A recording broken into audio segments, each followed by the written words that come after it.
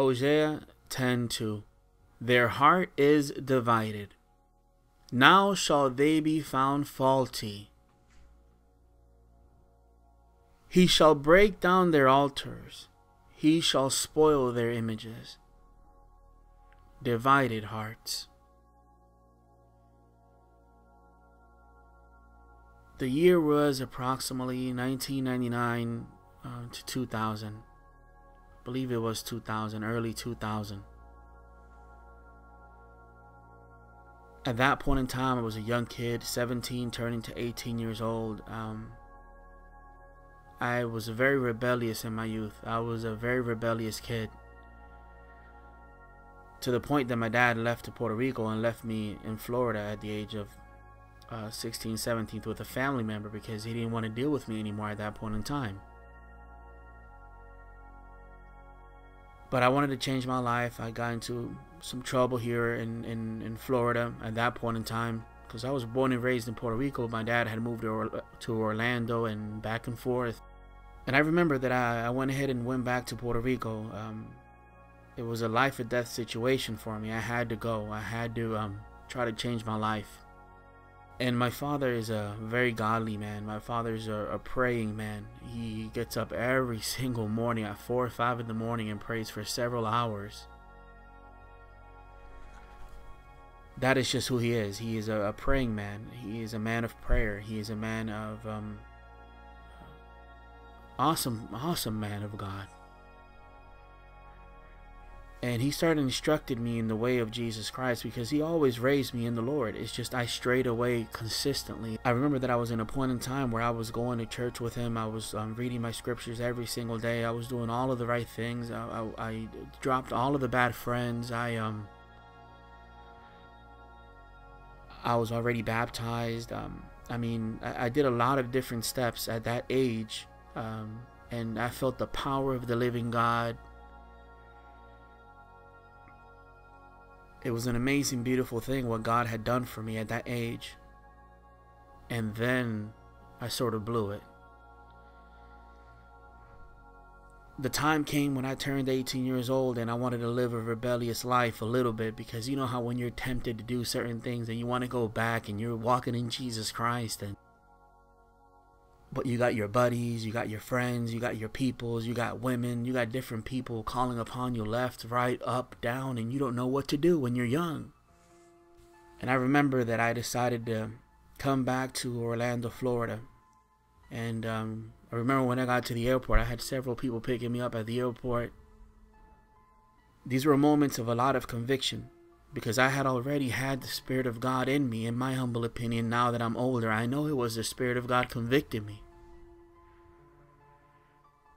Every single second that I was doing the wrong thing, my heart was divided. Every single second that I was in that vehicle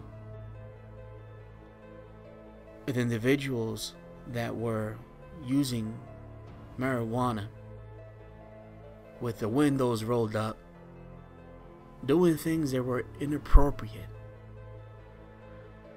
And these are not things that I say happily, proudly, or boastfully.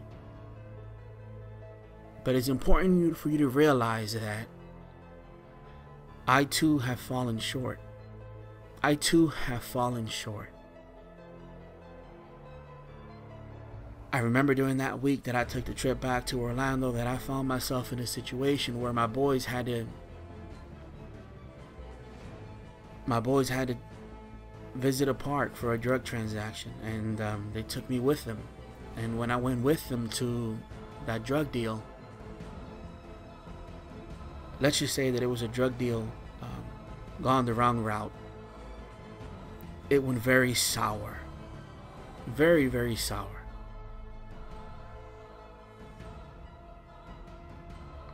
I literally could have died. Literally could have died. But through every single second, I felt the conviction of this Holy Spirit of God. Get out of there. Run. Go. Run. And don't get it twisted. I'm not saying that I heard the audible voice of God saying, Run, Tali, run. That's not what I'm saying. But you feel the Holy Spirit tugging at you and in your spirit speaking to you. And I remember, I remember it like it was yesterday.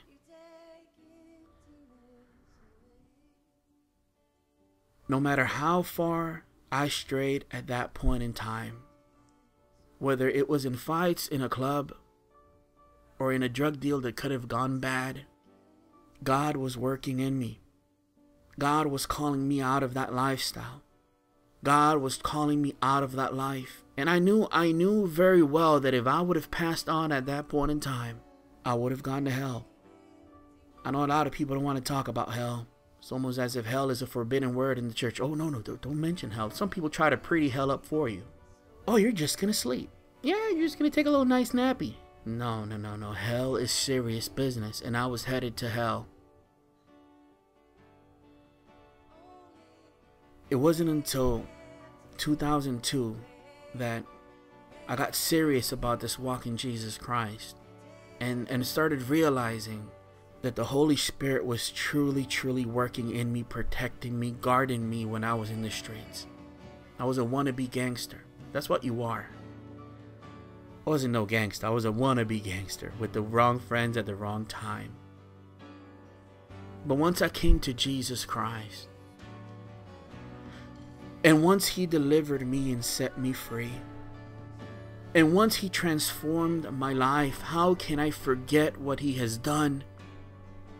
In Luke 17 11 through 19, we see, And it came to pass as he went to Jerusalem that he passed through the midst of Samaria and Galilee.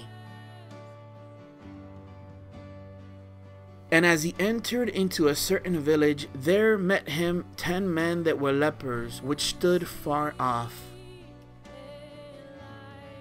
And they lifted up their voice and said, Jesus, Master, have mercy on us.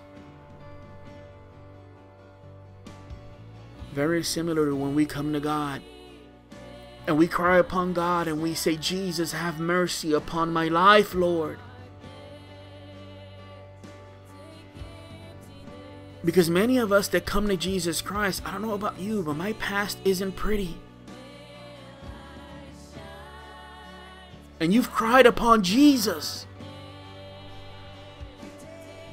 And you've asked Him to deliver you. And you've asked Him to set you free. Oh, how many times?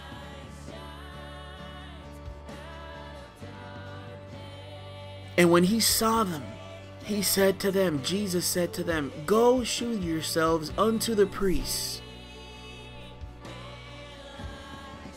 And it came to pass that as they went, they were cleansed. And one of them, when he saw that he was healed, turned back and with a loud voice glorified God You have to understand that these were men who were lepers. This was serious business. And fell down on his face at his feet, giving him thanks, and he was a Samaritan. And Jesus answering said, This is a very deep question here. Were there not ten cleansed?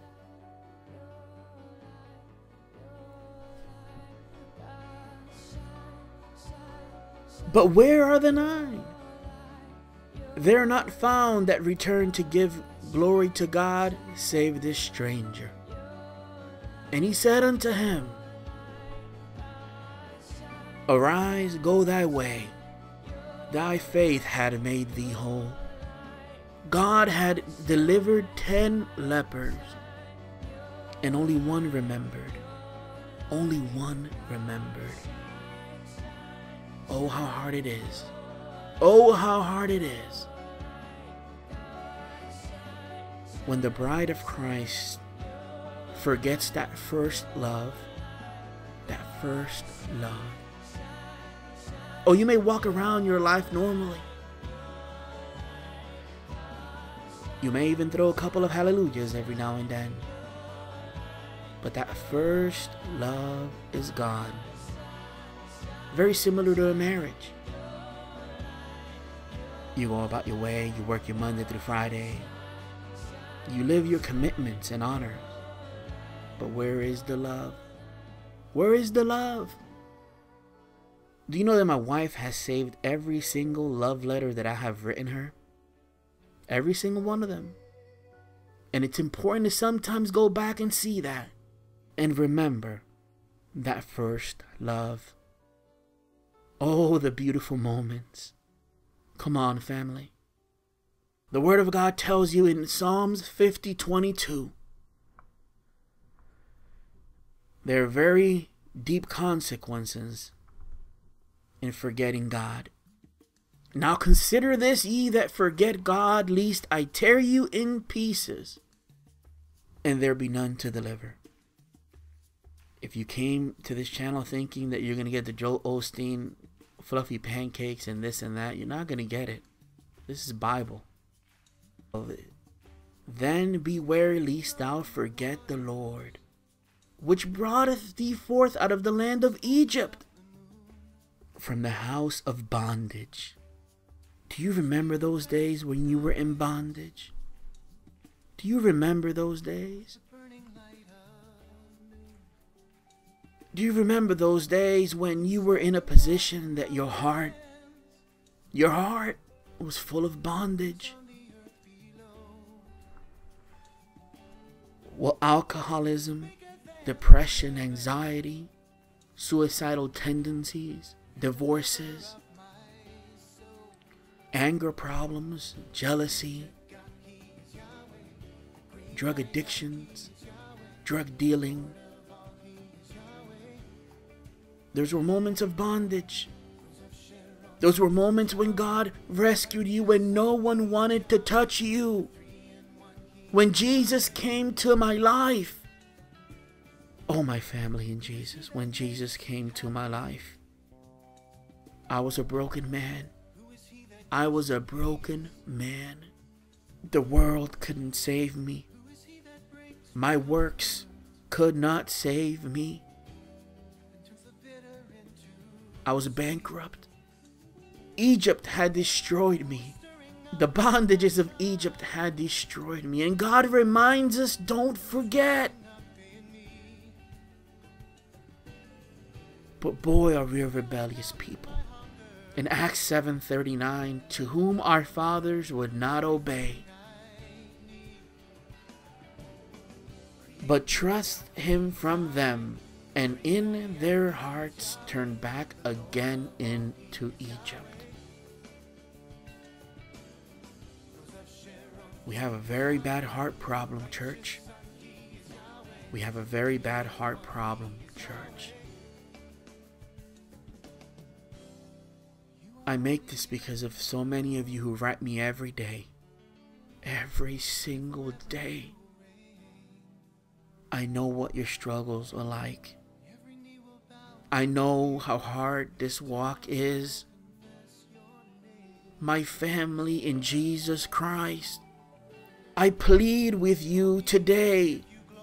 I plead with you with all of my Puerto Rican heart.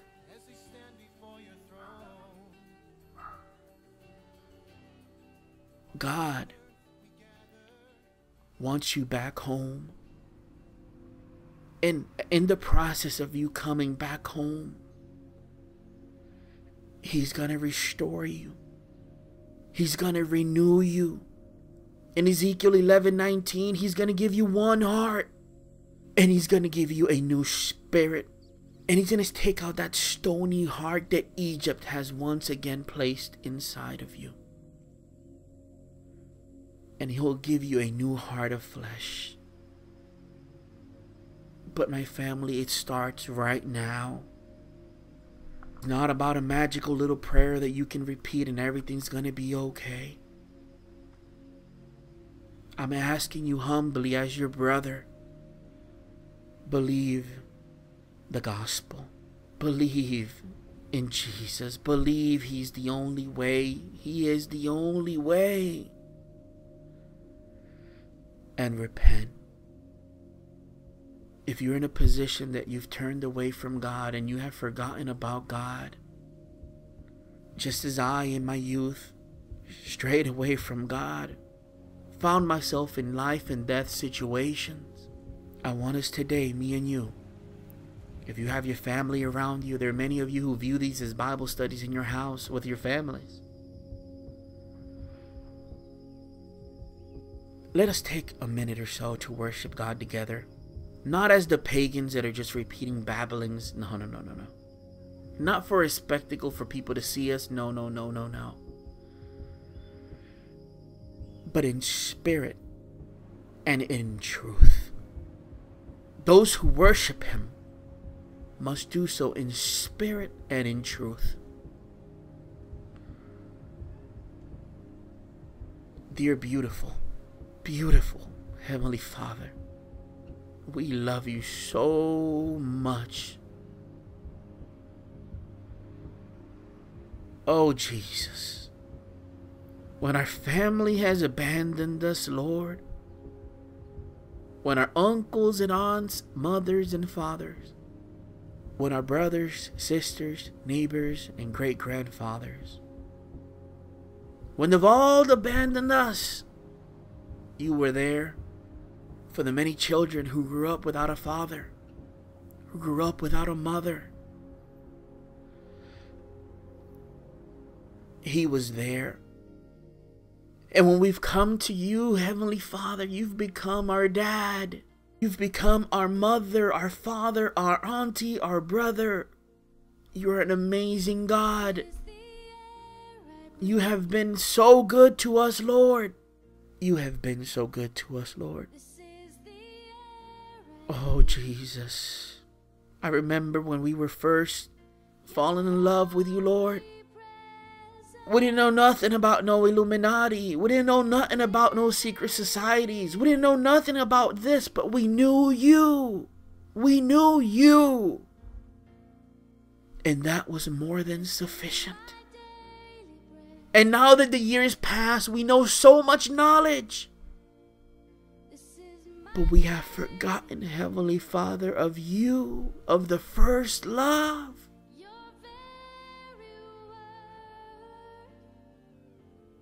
Dear Heavenly Father, oh Jesus, we love you. We're sorry for not obeying you, Lord.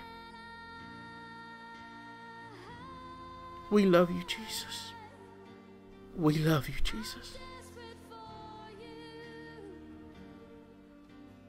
Heavenly Father, we're sorry for straying away constantly, Lord. We're sorry. We need you, Jesus Christ. Hallelujah. We need you, Jesus Christ. Hallelujah.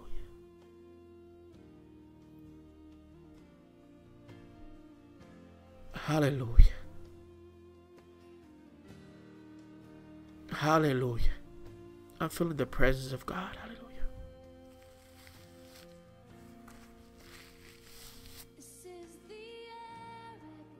Hallelujah. Jeremiah 3:22. Hallelujah. Return ye backsliding children, and I will heal your backslidings. Behold, we come unto thee, for thou art the Lord our God.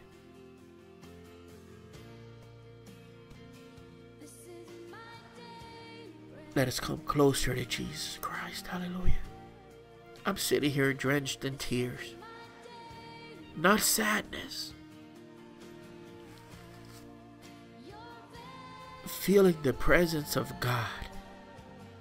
My family, there's nothing like it. We have strayed far away as a church. We have strayed far away as a church. But Jesus is able to restore you today, to restore me today. In his precious, beautiful Son, Jesus Christ. He loves you. Let us come boldly before his throne in repentance, church. I love you.